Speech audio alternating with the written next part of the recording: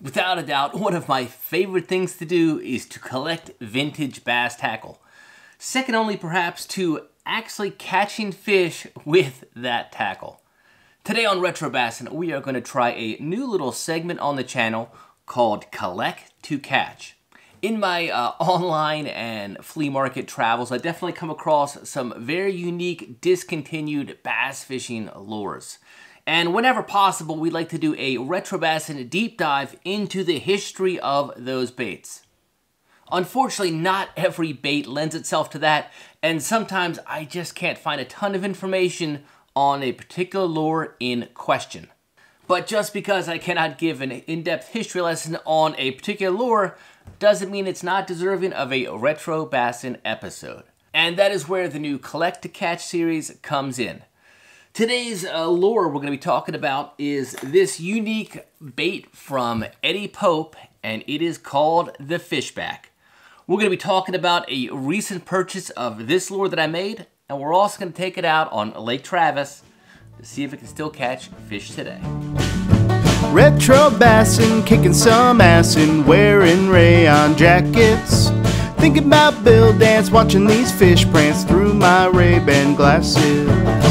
Ain't nothing better than 40 year old lures coming off of Zebco 33.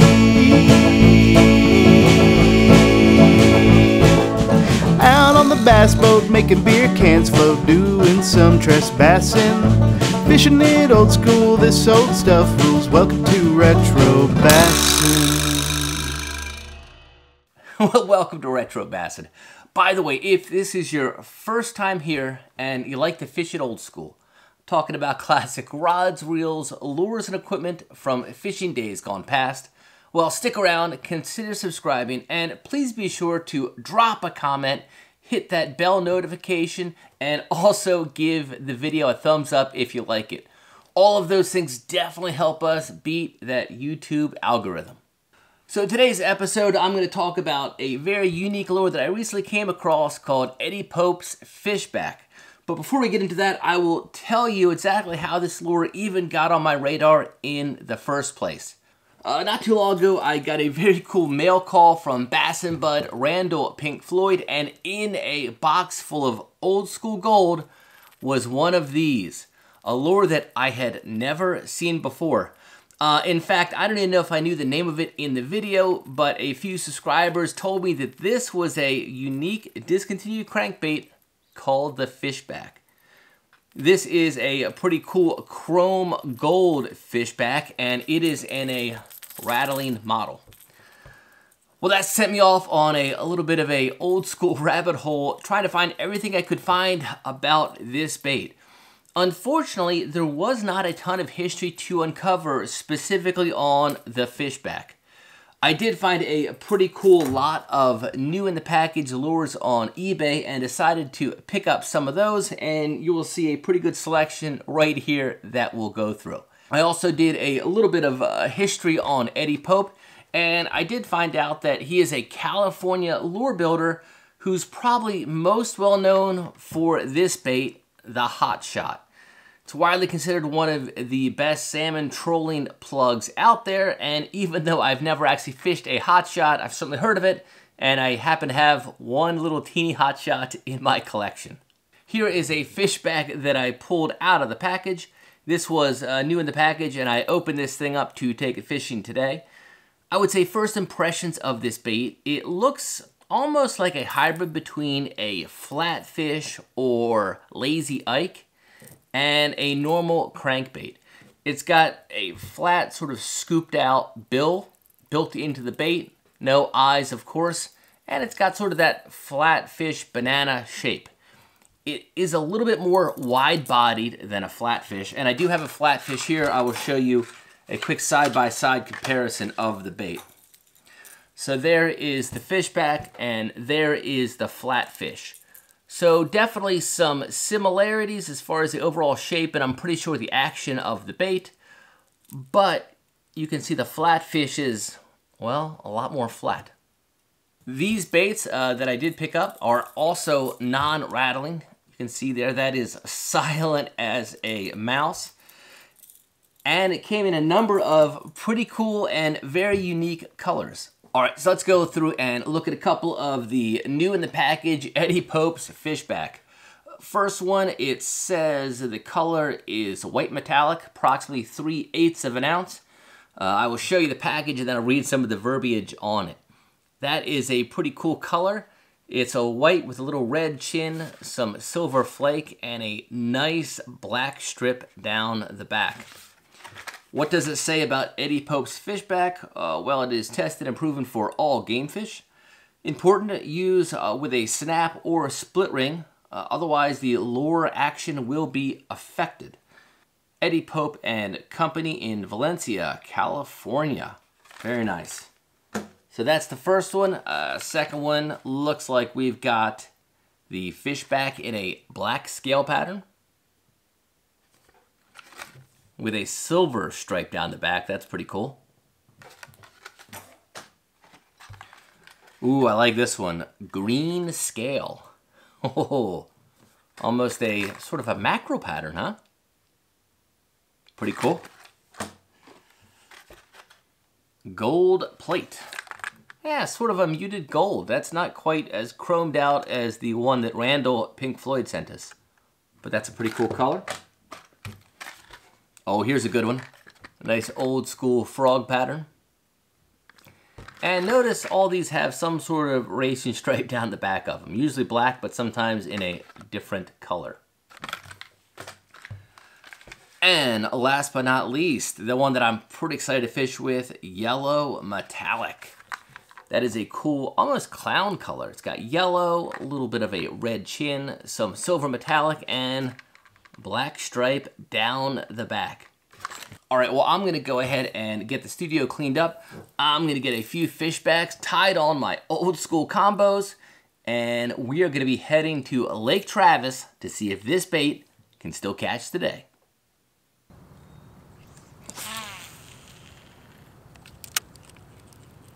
There's definitely some life back here.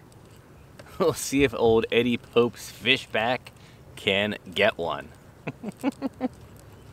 Definitely one of the weirdest crankbaits that I've thrown in a minute. It almost has a flavor of like a flatfish or a lazy ike, but it's also a little bit more, I want to say wide bodied than that. So it definitely fishes a little bit sort of like a hybrid between a regular crankbait and one of those lazy ike types. But definitely a lazy ike was the inspiration for this dude. That actually runs deeper than I thought it would. It is a subtle little crankbait. I'm having a hard time throwing it too, too far, even with this reel sort of loosened up. There's something busting over there.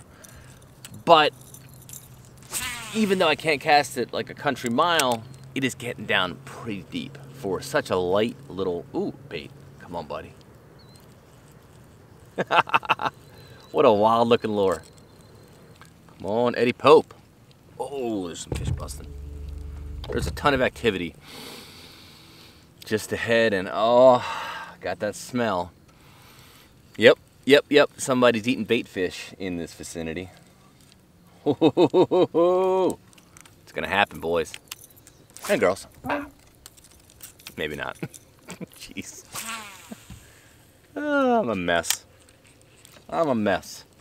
It's funny, but on this channel, there are many lures that you guys never see. I can't tell you how many times I purchase some old school piece of gold and it turns out to be a piece of fool's gold. It's amazing how many lures literally just cannot even be fished back to the boat, whoa, in an effective manner at all. That was a fish. but this little bait, I kinda like it. Like more if it caught a fish.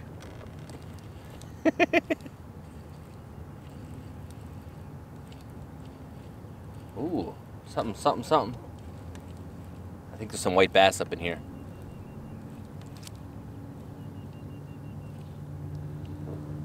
I think there's some white bass. What is that? Did you guys see that?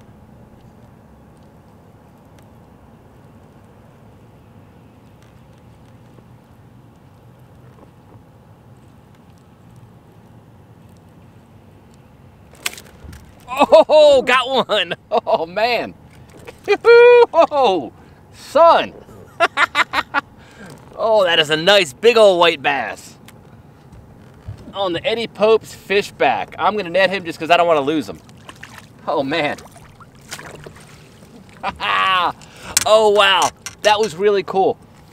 We were fishing this little bank here, and I had a couple of splashes behind me that I just could not ignore. So I flipped the camera around, cast it. Actually, I'm sitting in about eight feet of water, cast it out to about 20, and ooh, nice little white bass. So there we go. That is a pretty, pretty little white bass. Man, that is a ferocious little freshwater predator. I have caught plenty of white perch in my day. I've caught plenty of striped bass, but I've never caught this hybrid species, the white bass. It definitely fights a lot more like a striper than a white perch. Awesome, let's let this guy go. We have found what appears to be a nice little school of white bass, actually out here in deeper water than I've been fishing. So I'm gonna scoot the old bass tracker out a little bit deeper and hopefully get another one or two on the old Eddie Pope's fish back. Oh man, that was really cool. Oh, oh my God. oh, that might have just been the worst hook set in Retro Bassin history. Holy smokes. These white bass hit like a ton of bricks, and I was not ready for that. Oh my God.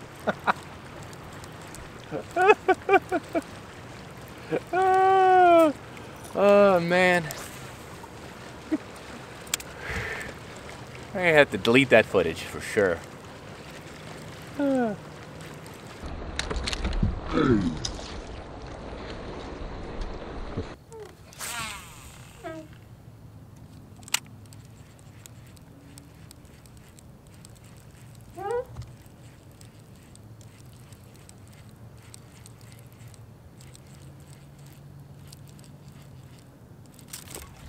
Oh, wow.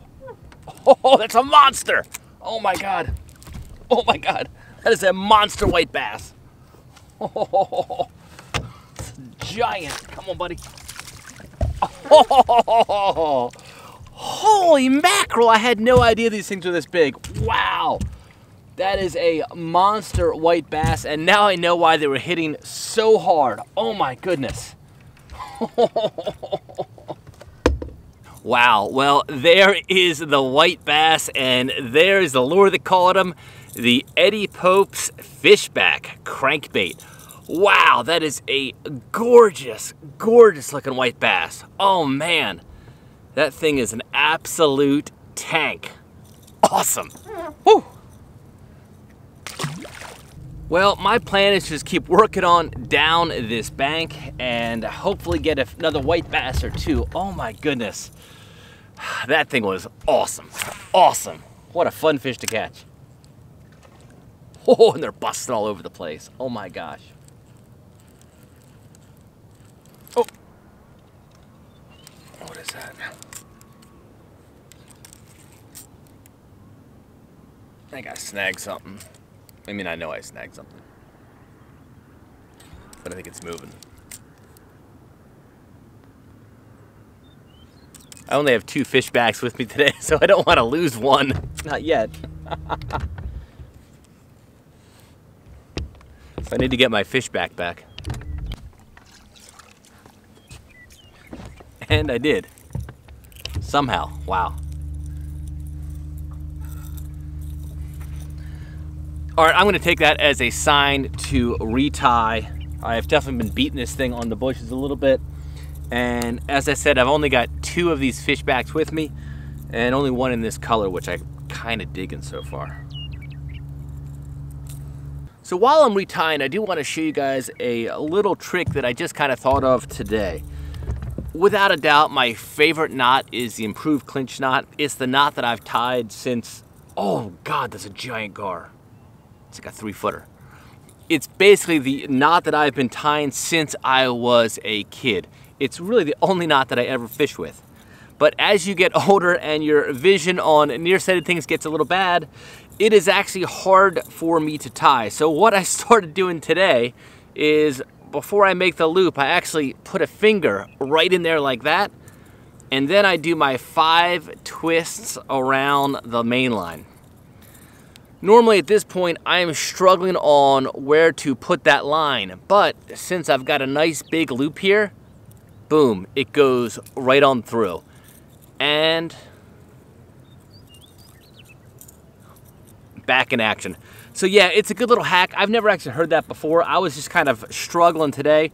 I uh, forgot my readers and I'm like, how do I retie? And that's what I came up with.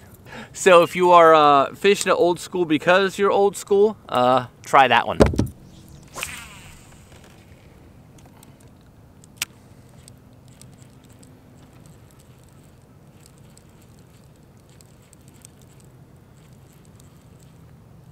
Oh, there's one. Oh, there's another white bass. Yeah, buddy.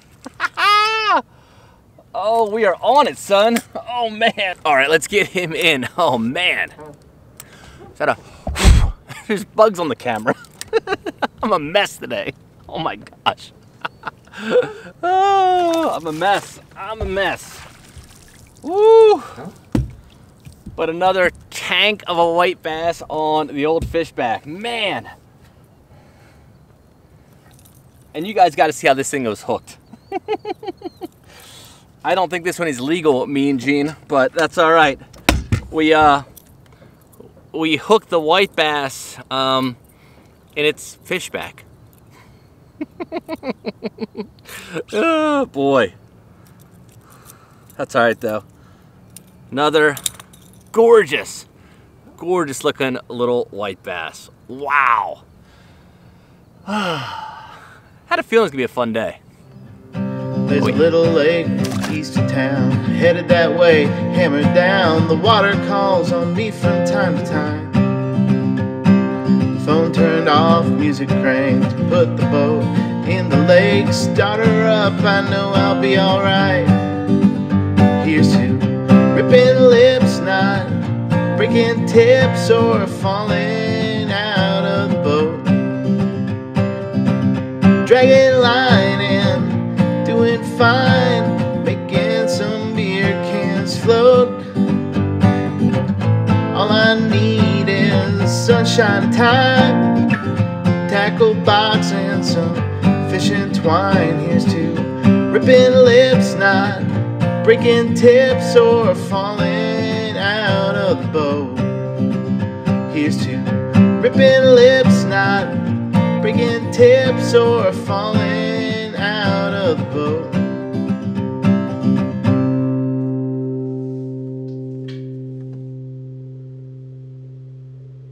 Well, that was a pretty fun trip on Lake Travis this morning.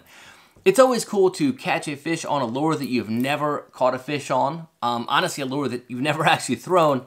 But it's even cooler to catch a new species on a new lure. I feel like that's almost like a retro bassin grand slam. Maybe if I was also on a new body of water. Either way, this was a really cool crankbait to fish with. I would say that overall, first impressions of it, it fished pretty similar to what I thought. Just looking at the position of the eye here, it looked like it wasn't going to be a super deep diving crankbait. It did dive a little bit deeper than I thought, but it's definitely one of those four to five foot deals. Not necessarily a two to three footer, actually as I was kind of suspecting, uh, but it is not a deep diving crankbait.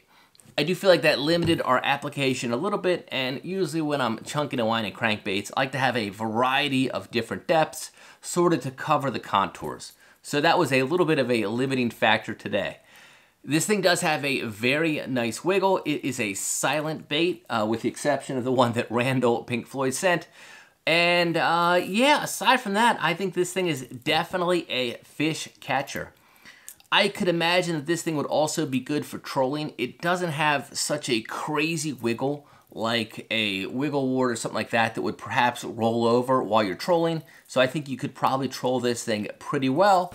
And if this thing can catch a white bass, I'm pretty sure that it can catch most species of freshwater fish. I did mention that I picked up a few of these on eBay, and we're going to try something a little bit new this episode of Retro Bassin. And maybe in future episodes if you guys are into it. I've gone ahead and listed five different colors of the Eddie Pope Fishback on eBay, as well as a Retro Bassin decal for $1 plus shipping. I will drop the link to that listing down below, but definitely head on over to the eBay if you want to check it out and get a little piece of Retro Bassin history. Also, drop a comment down below. Let me know what old school lure from your past you'd like to see featured on Retro Bassin. If you're looking for more old school content, click right here. Otherwise, I'll see you right back here, same time, same place next weekend. And until then, keep the carpet side up. And definitely, fish it old school. Fishing it old school, this old stuff rules. Welcome to Retro Bassin.